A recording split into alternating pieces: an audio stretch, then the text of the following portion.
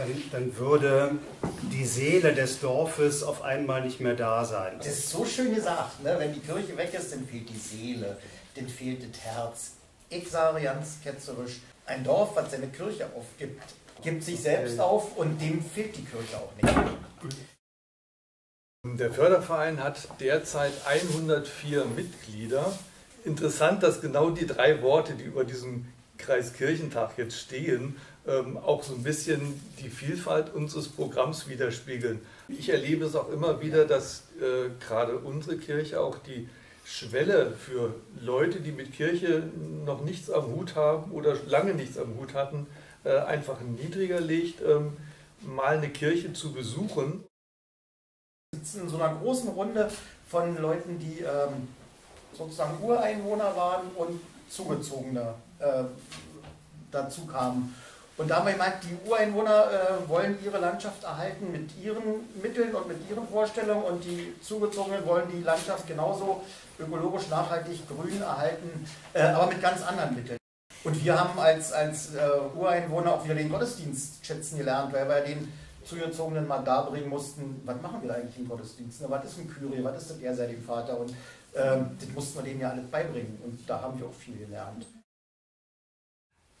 Ich glaube, das, was, was, was wichtig ist bei der, bei der Umnutzung, ist schon auch von Kirchenseiten her äh, einfach erstmal eben die, die geistige weite Welt.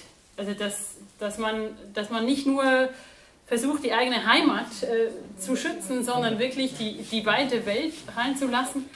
Vor allem auch braucht es eine Gelegenheit, dass Kinder, Jugendliche, Erwachsene, die nicht Gottesdienst, äh, Gottesdienste besuchen, dass die ihre Kirchen im Dorf zu ihrem Ort machen können. Das andere ist, wenn wir gemeinsam im Sozialraum äh, Gemeinwesenarbeit machen und als, als Akteur in, in diesem Raum wahrgenommen werden äh, und in dieser Kirche wahrgenommen werden, dann ist das ein geistliches Angebot. Dann sind wir da, wir sind Akteur, wir sind einer von vielen und äh, wir sind einfach dabei was wir jetzt ja gar nicht sind. Und das ist unser geistlicher äh, Punkt. Wir sind dabei, wenn Leute in der Kirche oder im Gemeinwesen was machen.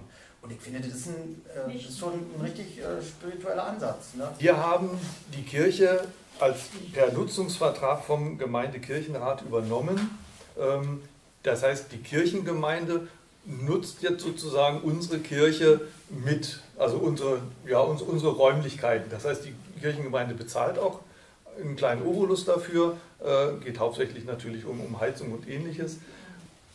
Wir können uns von den Mitteln, die wir vom Amt bekommen, vom Amt Oberkrämer, ähm, die wir von der, von, über die Mitgliedsbeiträge bekommen, können wir uns, muss ich sagen, gut finanzieren. Funktioniert einfach. Ich glaube, wir haben Glück gehabt.